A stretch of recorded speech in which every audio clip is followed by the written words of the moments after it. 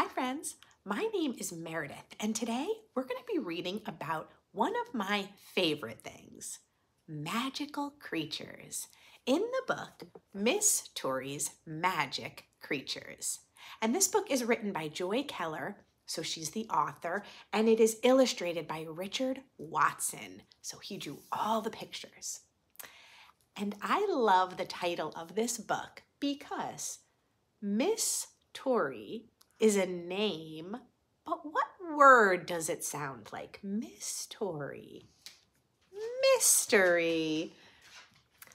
And magic creatures right in the title. So I know I'm going to like this book, and I hope you do too. Let's see what happens with Miss Turie's magic creatures. You there, peeking in my window, don't be shy. Please come explore. Meet Miss Turie's magic creatures, pets you've never seen before. Some have feathers, some have fur, some have skin that's scaly too. My motto is my guarantee. I have the pet that's right for you. Well, if you could have a magic creature as a pet, what would it be? Hmm. I wonder if they're in this book. I don't think you'd have what I... Of course I have your pet in stock. I've given you my guarantee. I always find the perfect match. Watch your step and follow me.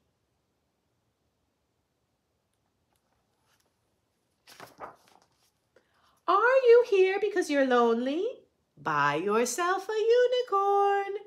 Every kid will run to see a pony with a rainbow horn. Dress her up and braid her mane.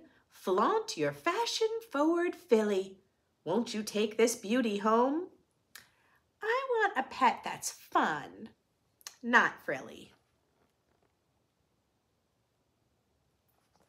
Now this is a pet that I'm pretty sure we would take home in my family, but not the pet for this friend. So let's see what's next. Clearly you're a kid with taste. Unicorns are so last year. I believe there's something newer waiting for you over here. See this tiny baby dragon? She's the very first to hatch. If you're looking for a playmate, she would be your perfect match. Now this is another one I think we'd want to take home too. We love dragons in my house. Watch her fly and climb and wrestle. How she loves to exercise. Would you like to pick her up? I don't think that's very wise. I'll admit she's hard to tame. Petting her could be a struggle. Maybe what you really need is something sweet that you can snuggle.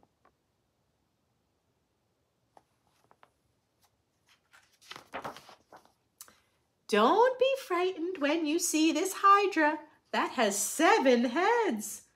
He's really quite affectionate, with seven times the love to spread.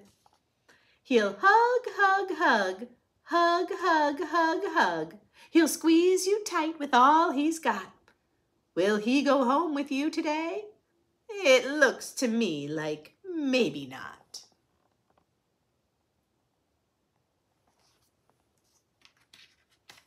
Mm, let's see what the next creature is. Part of him is fancy fish, and part of him is gallant steed.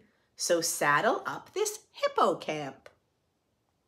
I'd get too seasick at that speed.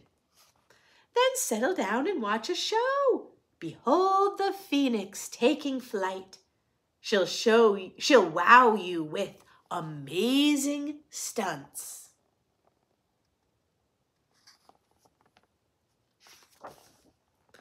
I should have mentioned she ignites. So as you can see, the phoenix is igniting. It is lighting on fire. That's what they do. But it looks like other things are catching fire too. Oh dear. But wait, don't go. There's more to see. I always back my guarantee.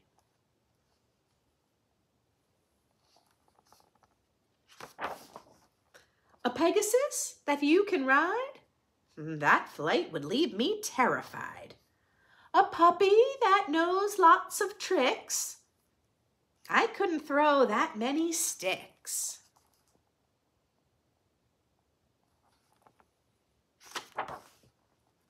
These griffins make a charming pair. One pet is all that I can bear. This helpful kraken likes to clean.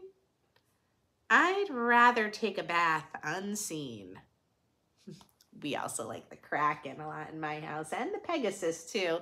Lots of our favorite magical creatures are in this one. Nessie's good at hide and seek.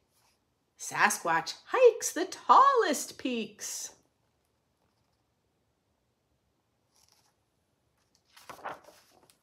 Golems can be tons of fun.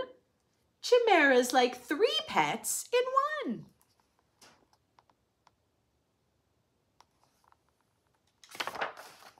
Or maybe, maybe, what's the use? I'm out of pets to introduce. Hey, you have one after all. It seems that you're referring to that creature sleeping on the chair. Please forget you ever saw it. Promise me you'll leave it there. Hmm, I wonder what the creature is sleeping on the chair. It won't fetch or give you hugs or greet you at your welcome mat. Its claws and fangs are dagger sharp. Don't pick it up. Don't touch that.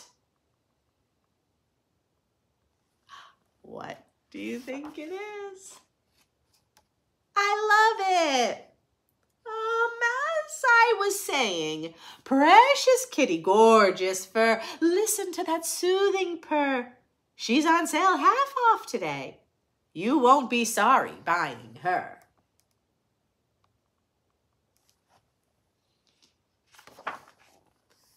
Just one thing that I should mention. One last thing we should review. Oh, never mind. I've done my job. I've found the pet that's right for you. So it looks like our friend is going home with a cat, but look! that cat seems to have some magic too. And then at the end, if you have access to this book, you can read all about the magic creatures in this book, which I love because I love magic creatures. And so many of the magic creatures in this book are ones that we would love to have in our home living with us. My family and I would love that. So I hope you enjoyed Miss Turie's Magic Creatures. And I can't wait to read with you again next time. Bye for now. Thanks for watching, and don't forget to subscribe.